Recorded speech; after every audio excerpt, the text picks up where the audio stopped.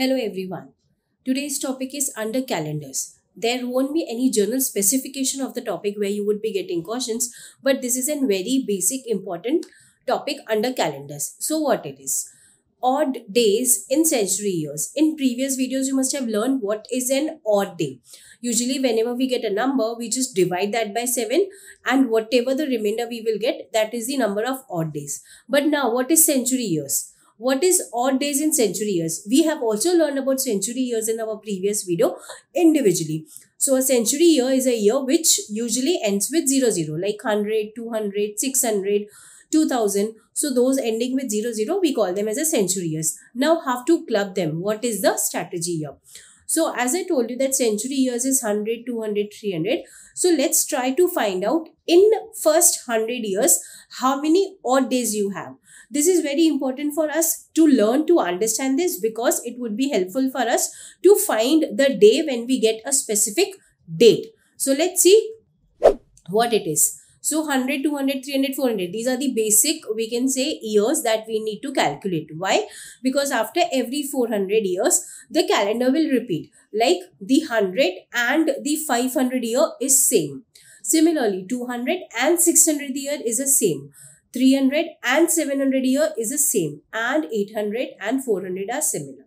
So this way after every 400 that cycle will repeat. So let's main focus on the first 400 years. So now when we will talk about the first 100 years, we need to find from those 100 years how many leap years we have and how many ordinary years we have. So when you will divide 100 by 4, you will get the number as 24. Okay, year it won't come 25. It won't be considering the 100th year as a leap year. Correct? You know very well. Let me just repeat it. The 100th year is not a leap year. Okay, similarly, a 200 and 300 year is not a leap year.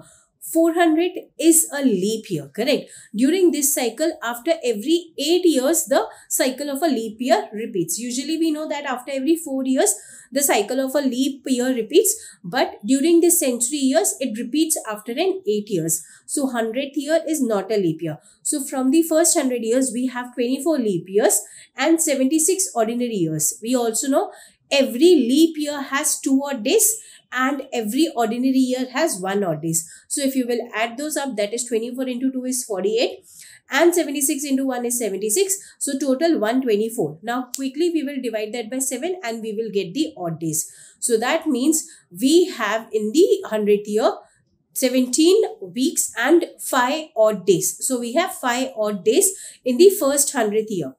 Now, coming to the next part, when we calculate about the 200 year, how to go that? From 100, we have to come to 200 year. So, this is the way. As I told you that 100 year is same as 500 and 900, 200 is same as 600 and 1000 and so on. So, to quickly remember, there is a table for you. As you can see, 100 year is having 5 odd days. 200 here, we are doubling it up to 10. But 10 cannot be an odd days. So divided by 7, you will get the number 3. So in the first 200th year, we have 3 odd days. Similarly, in the first 300 year, we have 1 odd day. That is 15 divided by 7. 7 times 2 is 14. 1 is the remainder. Now, listen carefully. In the 400th year, that 15 will become 20. But along with that, we have to add 1. Can you tell me why that 1 is?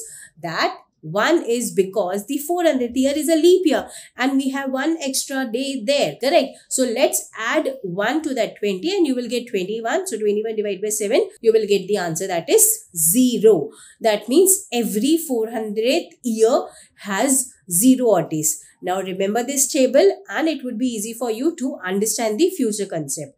Okay, on this basis, there could be a kind of questions like which days cannot be repeated or which days cannot end a century year.